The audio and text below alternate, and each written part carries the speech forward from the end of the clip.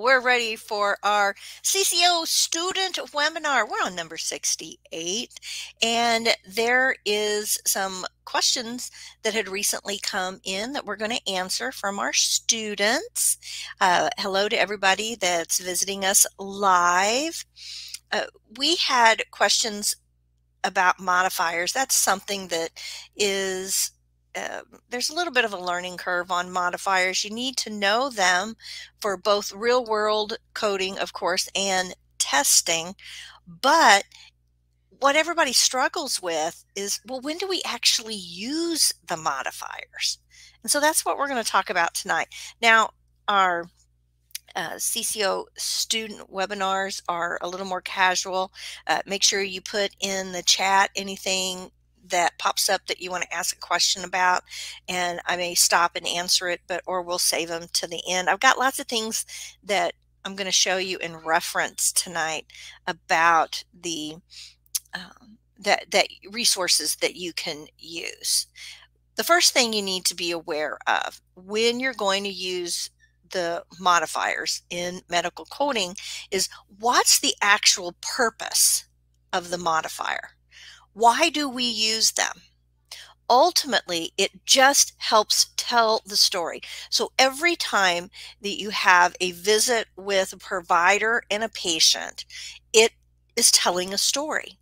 The provider is going to do an evaluation and a management of the patient, an E&M, and the patient's going to tell the provider, you know, what the problem is or what's uh, occurring, uh, whether it be positive or negative. Maybe they're doing better with their diabetes, or maybe they're struggling with depression, uh, or they're there for refills on their medication, or they need their annual wellness visit, or it's a, a you know a work physical. It doesn't matter. It's as soon as they walk in that door, there's a story to be told. And we translate that documentation into a code set so that we can capture it statistically. But also, that's how our providers are reimbursed, both with the CPT codes and the ICD codes. The modifiers help tell the rest of the story. It lets you know that there's going to be something about that code that we're using, that we're translating, that's a little bit different. So, again, from the time they walk in, the story starts, and then all the documentation that occurs, we're we're putting that into a code set so that it could it can be saved. And you know, maybe you could think of a modifier as in the story being uh, additional adjectives or the like. So when we look at the the use of the modifiers, First, we need to know the purpose. What's the purpose of every single modifier that we see in the CPT manual? Now, there's modifiers in your HCPCS manual too, but once you understand the way the modifiers in your CPT manual work, uh, HCPCS is just an extension off of CPT, so it will work exactly the same way. so know the purpose and then we need to know the type of modifier. So the purpose of our modifiers, they're going to be for increasing funds, right? You did more work. So therefore, we're going to increase the funds or decreasing the funds. We intended to get to this point in the scope, but we weren't able to due to a mass. And so we wouldn't be reimbursed for what the intent was. Uh, or needed to get a claim paid, we have to be able to append the modifier to tell the rest of the story. Sometimes modifiers are just informational to let you know uh, what's happening in the scenario so that you know why we're using two codes uh, back to back when you know why did they come back into the OR to do the same procedure that you just did? Well because they had a complication and we needed to bring them back in and open them up and look at them. Now let's talk about the types of modifiers that there are. We've got global package modifiers. What that means is whenever you have a procedure, it's going to be either a simple procedure that's going to have a 10 day global package or uh, a, a more complex procedure that'll have a 90 day global package. And so if say you um, had cut your your hand and you go in and you have stitches, you know, the, then it's a 10 days. Every, you know, everything that they do to put those stitches in and take care of that wound is encompassed in 10 days. Uh, so if you have problems, then you come back and that's all included to take care of that wound. But if you have, say, a um, hysterectomy, okay that's 90 days so every the care that it is happening to the patient that had that procedure done there's a 90 day global uh, period for that procedure where everything's encompassed in the care of that one procedure. There's bundling or CCI edits. So that would be uh, wanting to break out something that was bundled together or bundle something together. Some can only be appended to evaluation and management codes.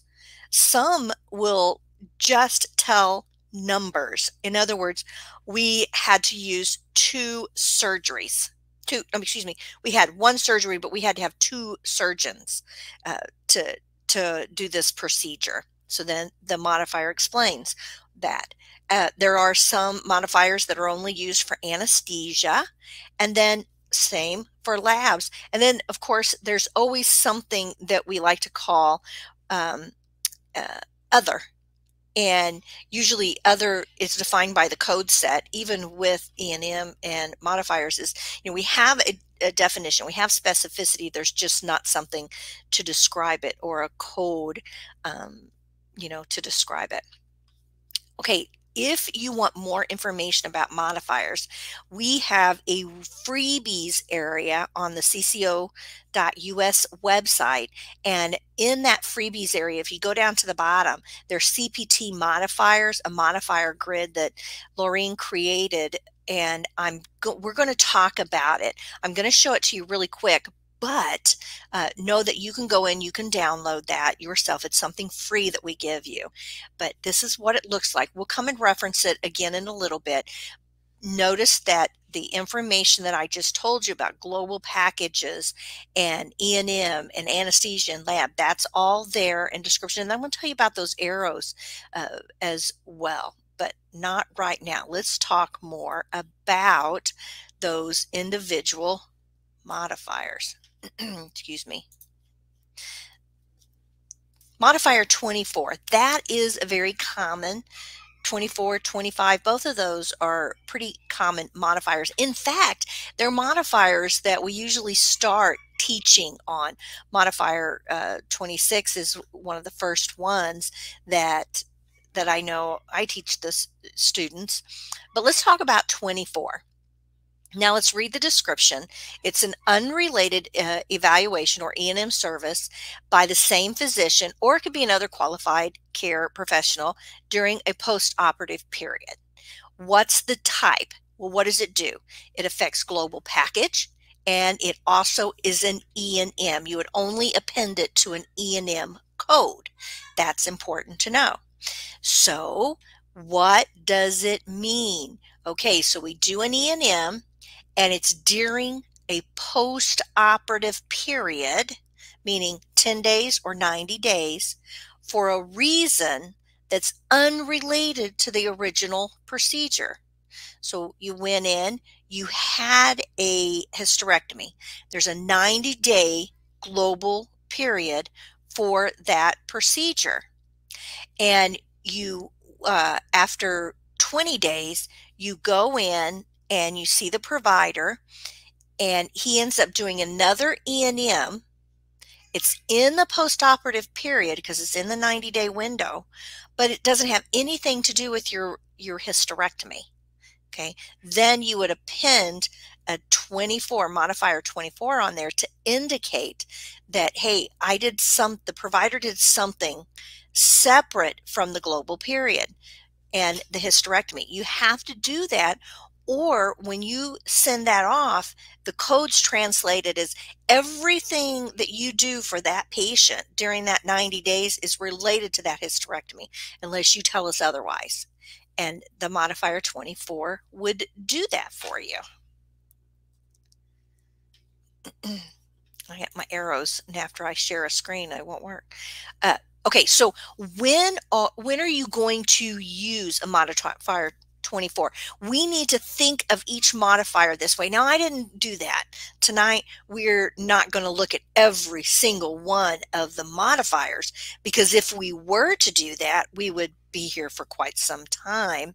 Um, Sarah asked a question, says, if a patient has a dehiscence wound, uh, can we bill an E&M and a closure? Okay, first of all, Sarah, a dehiscence is an opening of a surgical wound. So it would not be a separate E&M.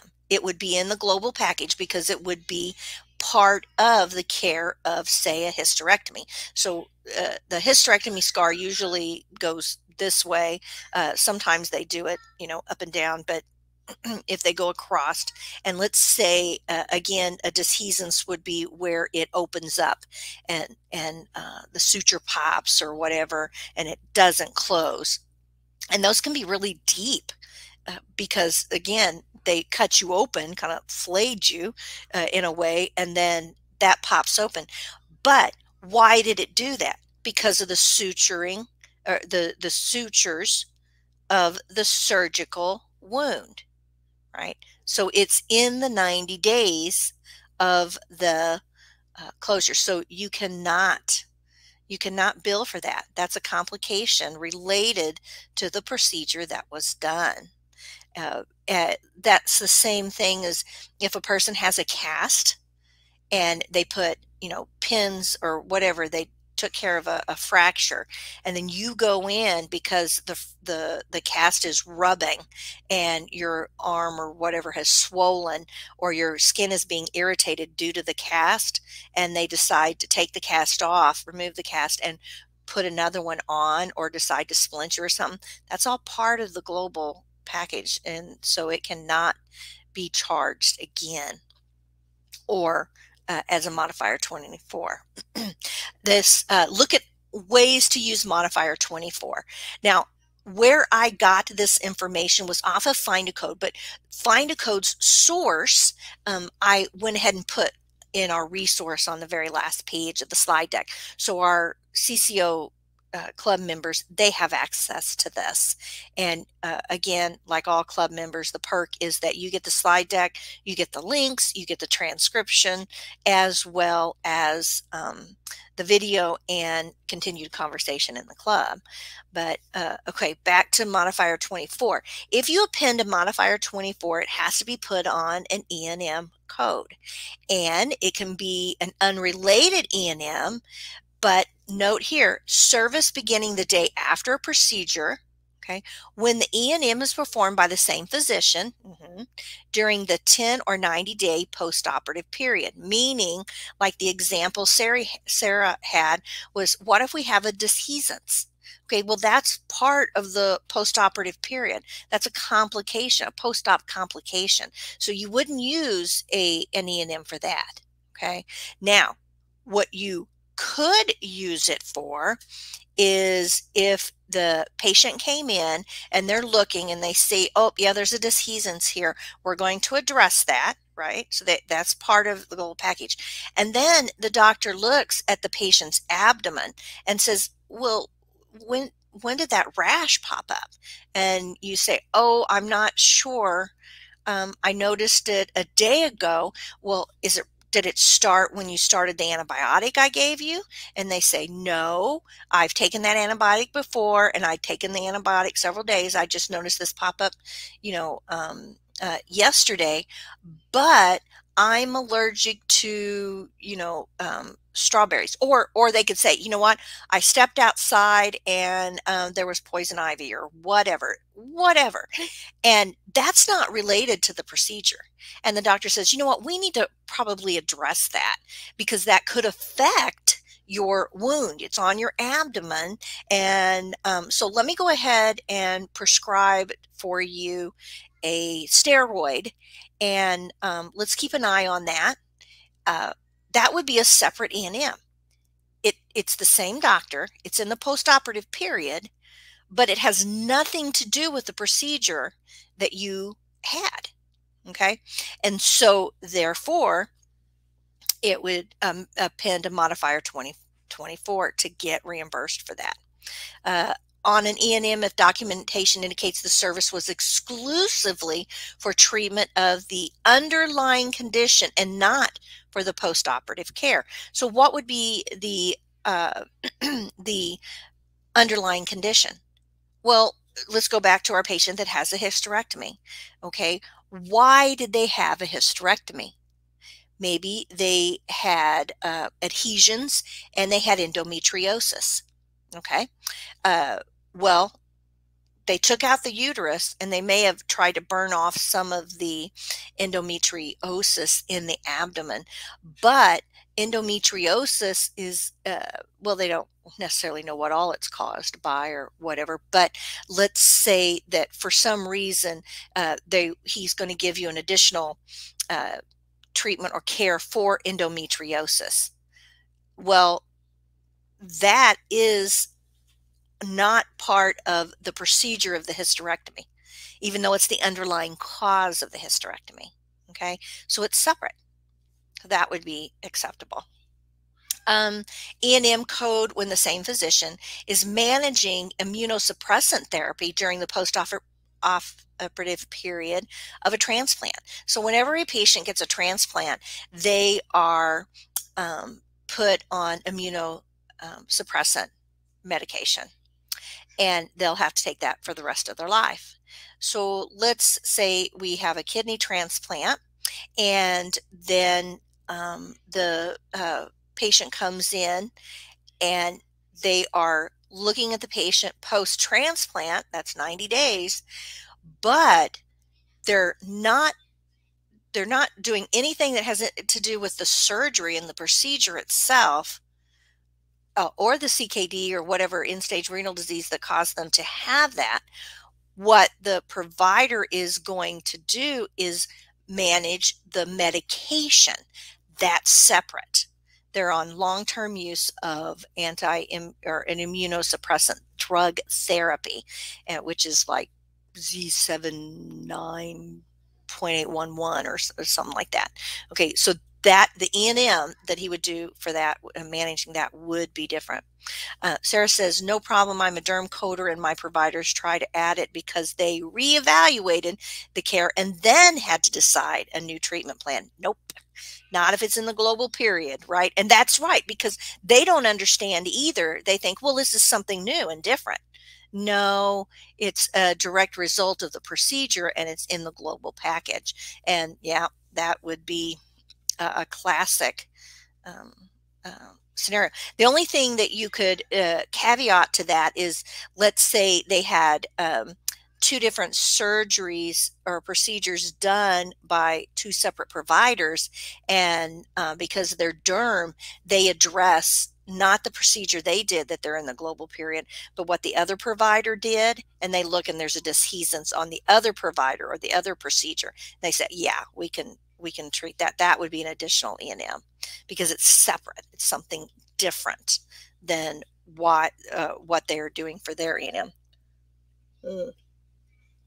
We almost need somebody to sit down and think up scenarios, right? All day long. You know, you could get paid really well to do that. Uh, let's look at the next one. Uh, same physician managing chemotherapy during a post-op uh, uh, period. So, uh, patient has a bilateral mastectomy due to breast cancer, and um, the patient's on chemo. Right. So, in the 90 days, the management, if they have any management of the chemo, that would not be their uh, the same as um, the mastectomy procedure. And then unrelated critical care so uh, the patient has a uh, a critical care scenario. They throw a pulmonary embolism. a- after a procedure, or they get a blood clot right after a procedure. That's a uh, unrelated critical care that would be appropriate. So when do we not use modifier 24? Now you have to think this through for every single modifier. You know, why would you use it? Why would you not use it? So if we did an E&M for surgical complications or an infection or a dehiscence, uh, that's part of the surgical package. Uh, don't use it if for things like removing of sutures, a cast removal, things like that. That's all included in that global period uh, surgical package. If the surgeon admits a patient to a skilled facility or for a condition related to the surgery, so the patient has a uh, hip replacement and they're not up and mobile yet and they need to go to a skilled facility to um, uh, get therapy because they can't do the therapy at home, then again, wouldn't be applicable. That's all part of the, the procedure. Uh, medical record documentation clearly indicates the E&M was unrelated to the surgery. You know, don't use it unless it's there. That's another difficult thing for our providers to understand that they can't just use a modifier to append to the E&M and say, well, that explains it. No, you have to have it in the documentation uh, to tell why you're going to use modifier 24. Um, Mary says, what if the patient goes to their PCP for removal of stitches, but the PCP did not put them in? Well, remember in the previous said same physician. So that would not be the same physician. So they could use an E&M for that. Yep. Very good, Mary. That's a question that gets asked pretty often, but it's that same physician. Uh, let's see, uh, outside the post-op period of the procedure, so after the 10 days or after the 90 days, then you can, or the same day as the procedure. So uh, again, if you're you would not use it if you're doing something, you know, on the same day of the procedure. You wouldn't use the modifier 24. Everything that happens to that patient that day falls under that, that, uh, you know, code. Now, what would happen if we needed to use more than one E&M to tell the whole story? Then we have an example that's given you have a major surgery you're within the global period and you have an unrelated E&M visit. Um, if the provider determines that he needs to do a minor surgery or other procedure. It was necessary. Okay that would mean that one, you would end up with a modifier 24 and you'd end up with a modifier 25. Why? Because the E&M is unrelated to the original procedure. And modifier 24 is going to be appended to the E&M service. And the modifier 25 is going to identify it as, hey, I'm doing another procedure and it's separately identifiable. Okay, so that is an, another reason to use that one. Now, you could actually use modifier 79 possibly to state that it's not related to the major surgery. Um, that is one that you have to see which fits better. And uh, Jane says you cannot use more than five modifiers, right, on a claim line. That's correct. There's a there's a rule in there. I don't think they've changed that. Um, I seem to, I've been doing this so long that I was thinking that at one point that they had changed something where you could either they either let you have more or less but uh, most of them it's really hard to come up with five modifiers reasons to use them this one here it's difficult to think of a scenario almost that you would use it but why do they have the you know they talk about it? Because it does happen. And and again the proper use of modifiers makes a huge difference not only in the reimbursement but also for the statistics to state how we use the codes All right, let's look at modifier 78. That's unplanned return to the operating procedure room by the same physician. Now, notice I made small other qualified healthcare professional. Just don't even read that part. That is just, it, of course, we know other qualified healthcare professional. Uh, okay. Uh, following initial procedure for a related procedure during the postoperative period. So, again, the key is that it's in the post-op post-op period and it's related to the procedure.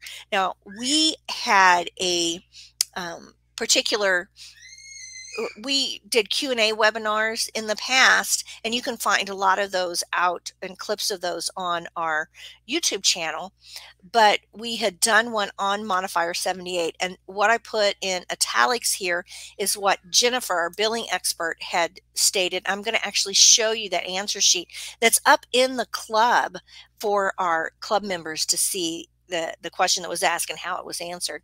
But modifier 78 is used for emergencies and sometimes you have complications or problems with uh, a previous surgery and then they have to return or um, they ha- they have to make some changes. Now if that's the case and the examples she gave was cardiac catheterization a laser suite endoscopic suite they can't take place anywhere else right? And so that's why you have to go back to that particular area. So let me show you the scenario that we talked about because we we used to do these all the time and they're all up in oh no that's the wrong one i apologize let me find it here modifier 78 so this is the answer sheet that um, our club members got to see. The question had come in, I'm getting confused when to use modifier 78 and 79.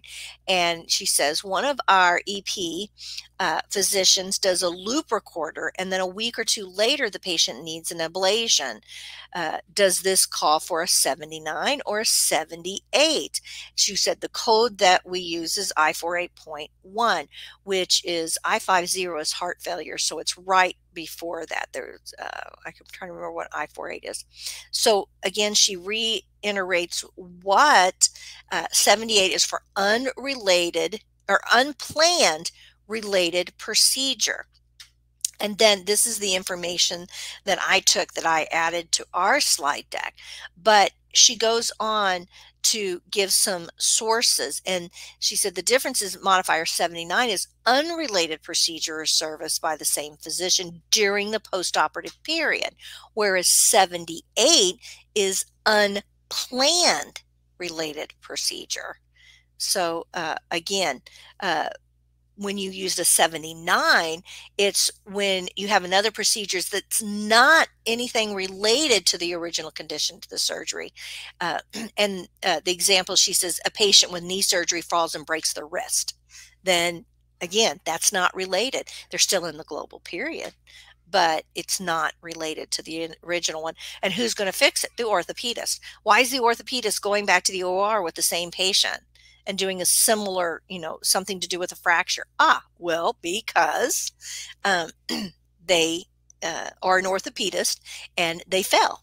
You know, so you have to have a modifier to explain. No, this wasn't planned or related.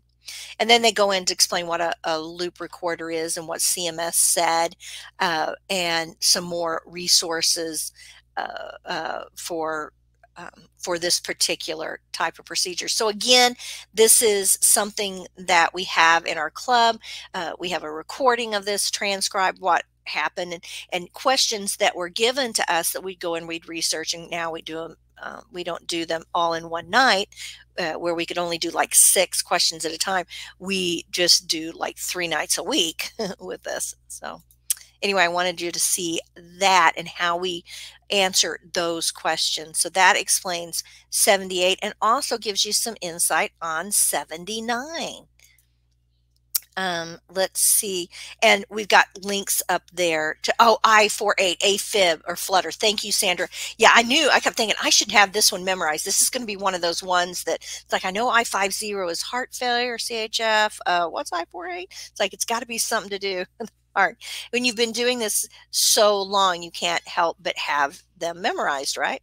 So let's go to our next, oh, sorry. let's go to the modifier grid. I want to talk about the modifier grid a little more in depth now. Um, let's go back to the main page and I don't know, let me see. I was thinking I can make this all big for you, but I guess I can't. Let's no, okay. So this modifier grid is something that you can actually print off, and a lot of people go ahead and laminate it front and back uh, on one paper paper so that they can do it use it as a reference now you can't take this in with you if you're going to test but this will really help you understand the ways the modifiers work, both because you have the description, what's the purpose, and what does it do. So let's kind of break those down. So I encourage you after this webinar to go to the cco.us site, download the free uh, CPT modifier grid. And if you're in the club, it's already in the club for you. And probably a lot of also, uh, also you'll find a lot of um, lectures where we talk about modifiers. This was brilliant. Laureen came up with this some time ago. And I, I, tell you, it's one of, in fact, she started this way back when I was teaching in a college in, in Texas and my students weren't getting E&M and I couldn't figure out what I needed to do to explain it. I mean, obviously, I wasn't explaining it well enough to them. Uh, uh, so I that's when I found Laureen online and these I said go watch her YouTube channels you know watch her videos. She explains it so well. And so we started using, using that and then we found the modifier grid that she had done it's like okay this is brilliant. This is exactly what you need to explain. I've never seen anybody explain it any better than what she does. So again here is the uh, types and the uh, abbreviation for what's the type the modifiers used for and then what is the the purpose okay? It's going to make if the arrow goes up it means that that modifier is going to have an increase in revenue. If the modifier or if the arrow just goes leans off kind of uh, sideways then it uh, means the claims doesn't get paid unless you use this modifier. Without it you're going to get a denial.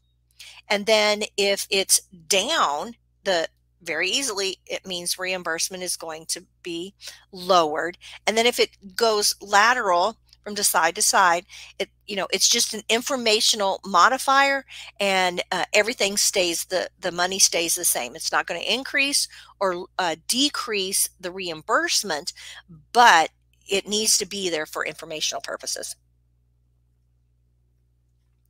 And then what she did was um, she gave the you know which ones are E&Ms, which one's an anesthesia, which one's surgery, radiology, path and lab medicine, uh, uh, surgery centers, and hospitals.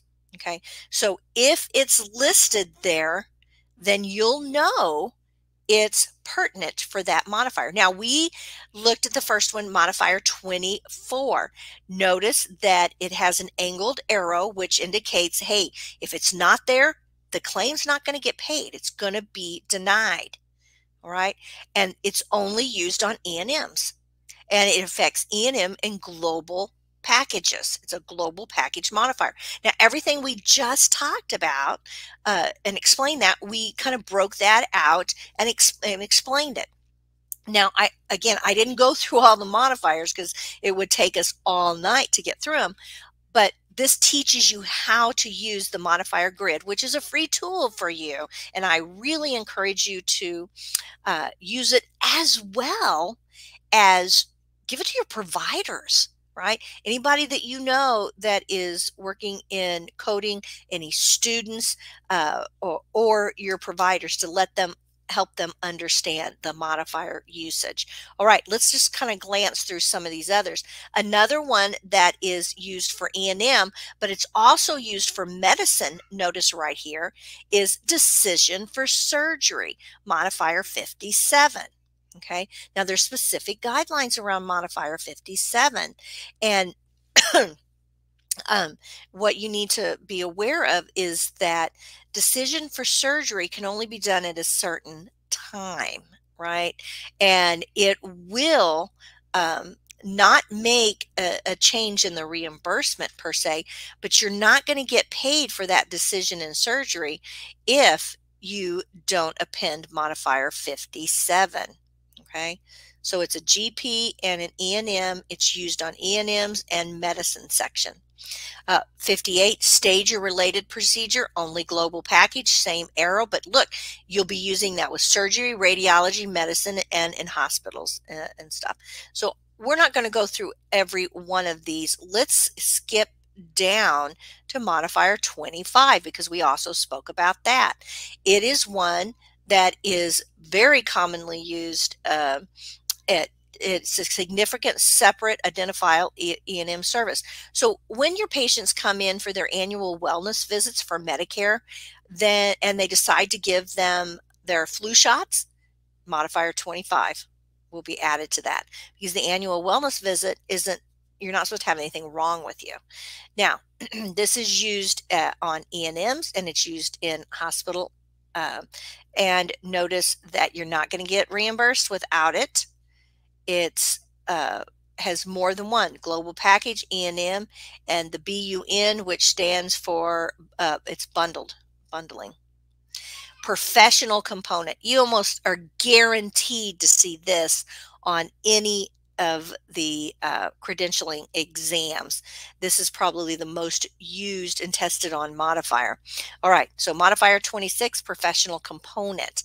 This is uh, going to bundle and it, it will decrease reimbursement and it's not used on E&M and anesthesia, but it's pretty much used on everything else except for hospital ancillary surgeries. So the example for those that they usually give you is that uh, patient has an x-ray and they have an x-ray at the um, x-ray machine. Does it belong to the provider?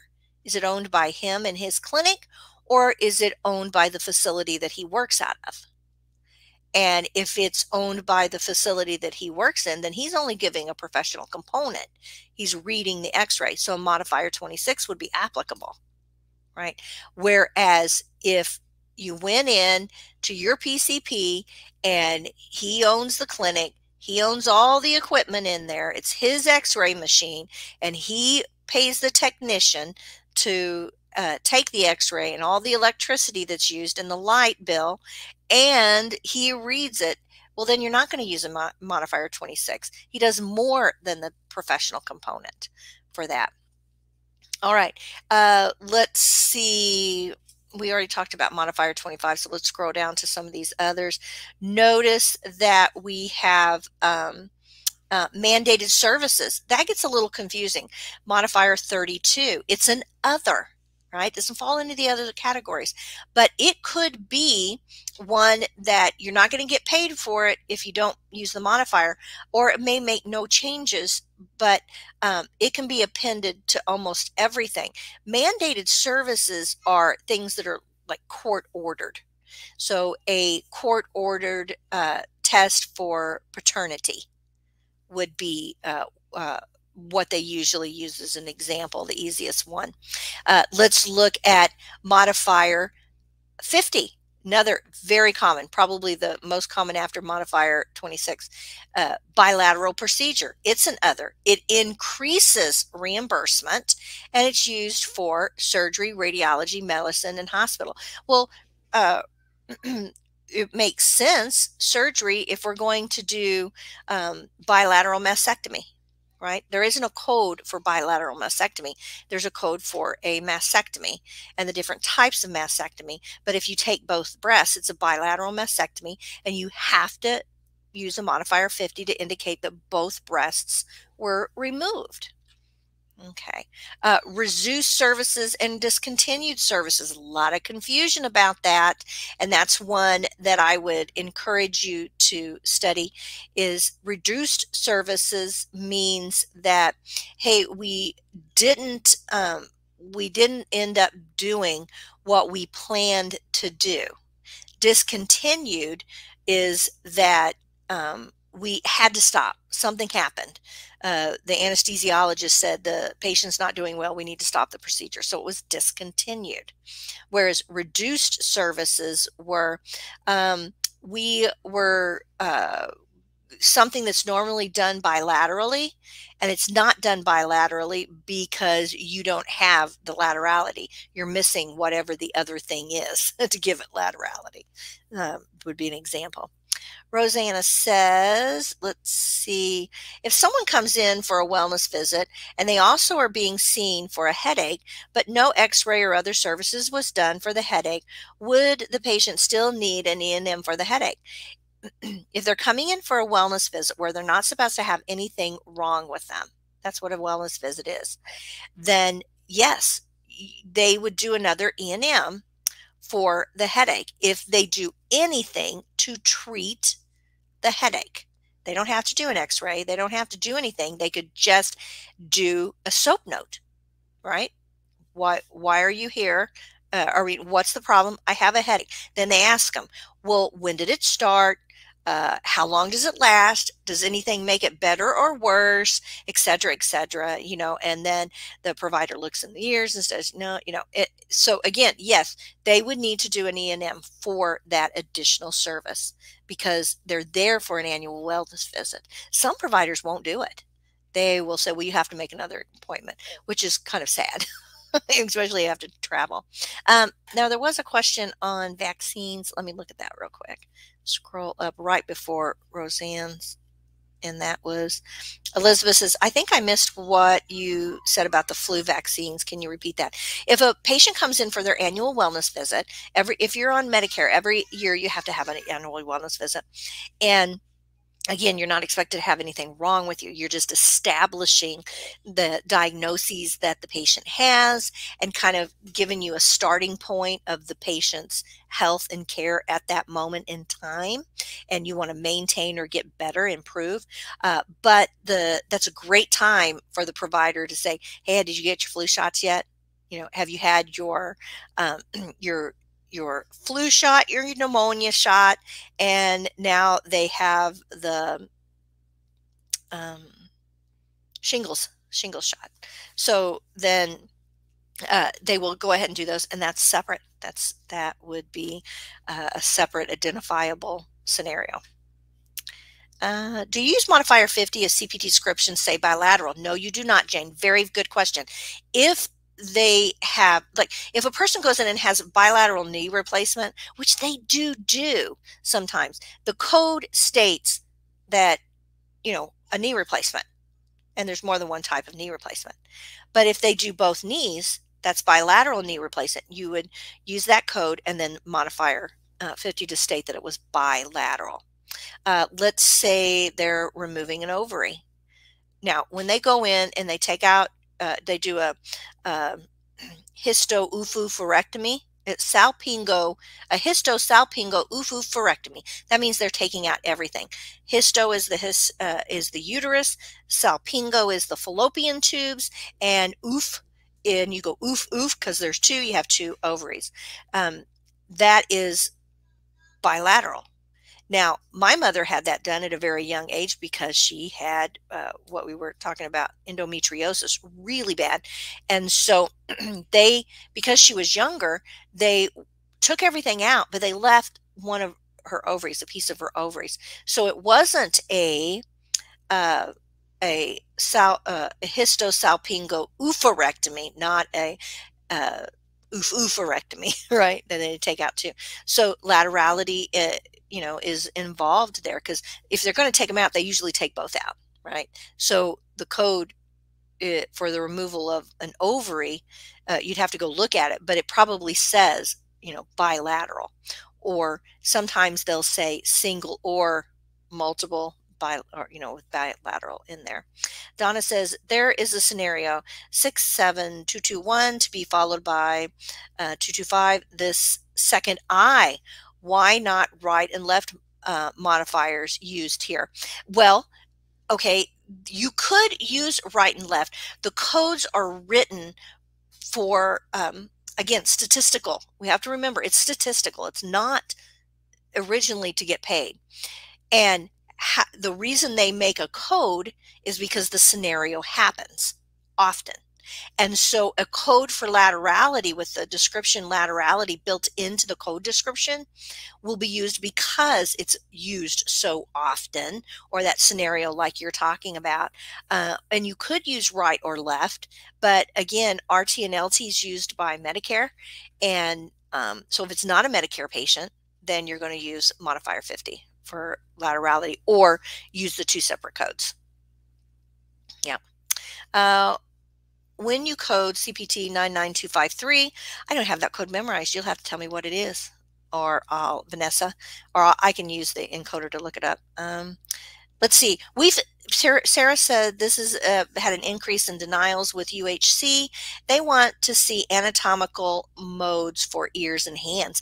You know, I'm not surprised about that with UHC, Sarah, because um, last year there was a huge influx in ear codes. Now, I don't know about hand codes, but there were, um, yeah, there was a, a, lot of changes where additional ear codes and hearing codes and procedure codes for the ears were added uh, uh, in ICD. And so, uh, and, and thus I, and CPT as well. So uh, again, I'm, I'm not really surprised to see that, that they're wanting uh, anatomical modes for, for those type of things. Yeah. Okay, 99253, I'll look that up real quick because I just happen to have an encoder. And then uh, inpatient consultation for new and established patient, which requires these three key components. Now, keep in mind that, um, yeah, U Donna says UHC is a tough customer, frequent denials. Yeah, they are. uh, Blue Cross Blue Shield isn't much farther behind. Uh, okay, so with this one as an inpatient consult, I would look at my notes. And uh, again, they don't pay, a lot of them don't pay for consults, but this is an inpatient consult. Um, CMS has eliminated the use of all inpatient consults. So, uh, um, when you code 99253, what they end up having to do if the payer won't pay for it, you use the regular E&M codes, established patient or new patient. Hmm. But otherwise, you just follow those. And there, um, you, eh, or if you were asking me about modifiers appended to that, that is, that is classified as a as an E&M uh, a consult. I know modifier 95 is for telehealth videos, right? Yeah, it is. Uh, let's look at modifier 95. And synchronous, uh, synchronous uh, telemedicine services rendered via real-time interactive audio or video uh, telecommunication visit. Yeah.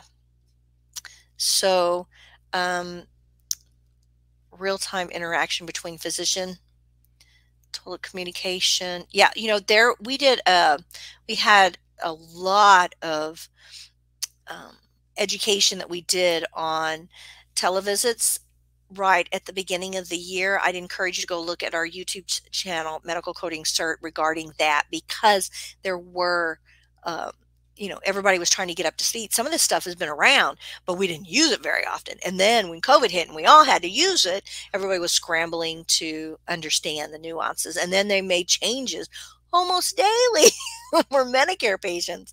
So uh, yeah, I would I would encourage you to go and look um, look at some of those that break those uh, modifiers down and the telehealth very good, guys. We did good tonight. Um, Elizabeth says, I'm trying to find the modifier sheet and can't locate it. There was a link placed in the chat, but I'll just show you how to go find it real quick. Let's just go ahead and do that. And sometimes visual. Go to cco.us. Hey, we got a sale going on. Uh, freebies.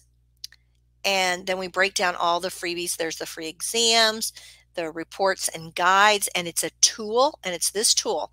Uh, right here, there's six tools there, and it's the uh, upper right-hand quadrant, get your modifier decision grid job aid tool. and you can click on that. You fill out this, and then you'll be able to download that. Um, okay, and then let's see. We had a couple more questions. Um, do you have an do you have to add modifier 25 to CPT 99497 when you have an E&M CPT 99497. Let me just put it in. I am I am not quick with um, CPT codes, ICD. I have a lot of those memorized, but CPT is uh, I don't work in that world as much, and so I um, would would struggle to have those off the top of my head. Advanced care planning, including the explanation discussion of advanced directives, and you want to know if you would append modifier 25.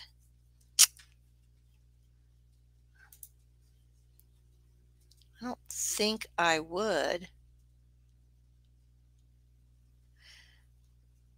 Um, well, you could. Yeah, I guess you could. It's an E&M.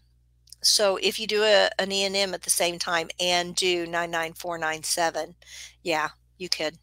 I believe so. Not 95. You could use GT, but 95 probably is. Um, OON outpatient. Yeah. Uh, ooh, 99253 a lot in vascular. Um, yeah, vascular surgeries. You're right, Deborah. It's used a lot. Hmm? Uh, then do a pin modifier 20 to an E&M visit for 213. Uh, okay, 99213 is a uh, uh, established patient, level three, and 36415. I don't have that one memorized. I got to look at that one. Collection of venous blood. Um, you know, okay. Um, no, probably not. Uh, because isn't it common for like an annual wellness? Um, no, collection of venous blood is is not separate. It's not above and beyond what you're you're doing and you're treating for that patient. It's I don't think you would do that. Um, I could be wrong. I'd have to double check with Jennifer, but I don't think so. What does it say here if it says anything about that? No, because I mean they they have to take blood to to do lab tests.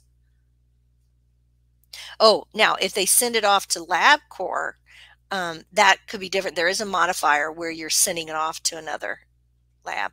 Uh, I have to do some more research. I know we've talked about it. In fact, I know we have things uh, in both the club regarding this. Jennifer's talked about it, and probably on our medical coding cert. So let me let me defer to that, Bell, because um, off the top of my head, I I would uh, not want to tell you. Uh, uh, yeah, modifier 90 reference lab. That's what I'm thinking of too. You're right. Now that you said that reference outside laboratory. That's the modifier that you would use. Path and lab right here. Thank you guys, Donna. Yep. Uh, we did not use modifier 25. Yeah. Yeah. I, I was going to say, I just don't think, I think drawing labs is a regular component of even an annual wellness visit because they, they'll do your labs to see how, uh, uh, how you're doing. Yeah. And you can check your NCCI edits for that absolutely. And uh, in fact, you can go in like here, and I have NCCI edits. I have it somewhere in here. There it is.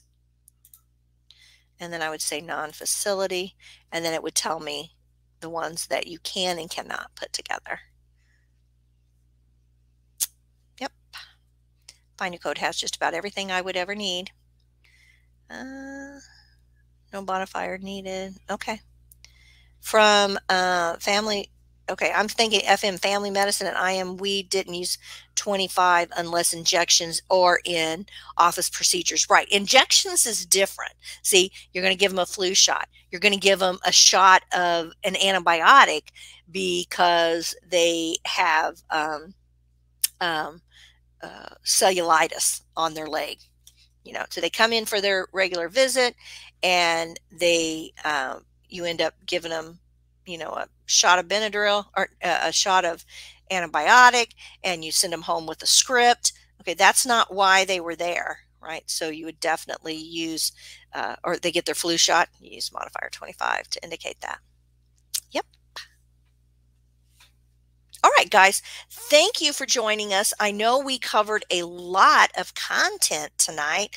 Let me just get rid of these screens and get back to our um, the end. And remember, we are here every Wednesday night for students. Uh, then you can, uh, our students send in things that they're struggling with or scenarios that uh, we know that it's a good teaching uh, moment that we can share with everyone and we just invite you along. Uh, you're welcome for the freebies and the q&a webinars. Uh, uh, all of our students get that all this stuff gets loaded in for additional content for our students. But your great questions help and some of your insights because uh, um, some of these things for CPT, like I said, uh, first one to tell you that is not my world uh, to be able to rattle that stuff off the top of my head. You throw the ICD, and now I'm I'm I can hold my own with that. Uh, but thank you for the I48 reminding me that that was AFib and arrhythmias. That I, uh, it was on the tip of my tongue. Uh, so tomorrow we'll be back. Uh, most Tuesdays, Wednesdays, and Thursdays. We'll, uh, we'll be here live. Don't forget to hit the like button for us if you're watching on YouTube. That really helps us, guys. Uh, so I would appreciate you doing that. That uh, lets YouTube know that we're um, we're a site that is helping people with our content. And um, uh, again, don't forget you can share these and hit the little bell so that you know when we're going to come live. And if you join the club, we let you know. Uh, we'll send you out an email to give you a heads up. So again, thanks everybody. Appreciate it. Do you need more medical certification and business training? Learn more at www.cco.us.